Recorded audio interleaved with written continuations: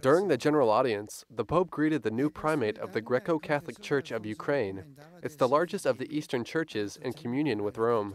Sviatoslav Shevchuk was elected last week by the Ukrainian Greco Catholic Synod of Bishops. He will now lead the 7.5 million people that follow the Eastern Church.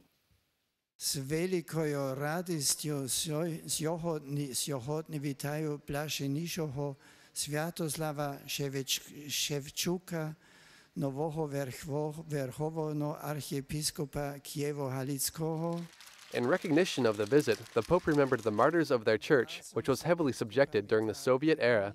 He also recognized Cardinal Lubomir Husar, the primate who recently resigned for health reasons. Presiderà la sua chiesa guidandola nella fede in Cristo Gesù secondo la propria tradizione e spiritualità in comunione con la sede di Pietro, che è vincolo visibile di quella unità, per la quale tanti figli non hanno esitato ad offrire persino la propria vita. The new primate will meet privately with Pope Benedict XVI to ask for the transformation of Ukraine's Greco Catholic Church into a patriarchate, something they have a historic right to and would give them greater autonomy.